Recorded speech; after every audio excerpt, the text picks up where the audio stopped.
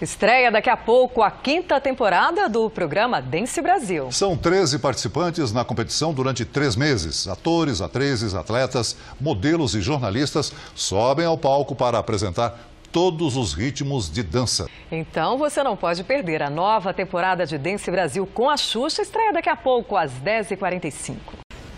O Brasil enviou mais de um milhão de frangos contaminados com salmonela para o Reino Unido nos últimos dois anos. As polícias de fronteira dos Estados Unidos e do México procuram por uma menina brasileira de dois anos que teria se afogado durante a travessia de um rio junto com a mãe. Elas tentavam entrar ilegalmente em território americano. O Itamaraty informou que acompanha o caso da menina brasileira que desapareceu na fronteira do México com os Estados Unidos por meio do consulado brasileiro no Texas.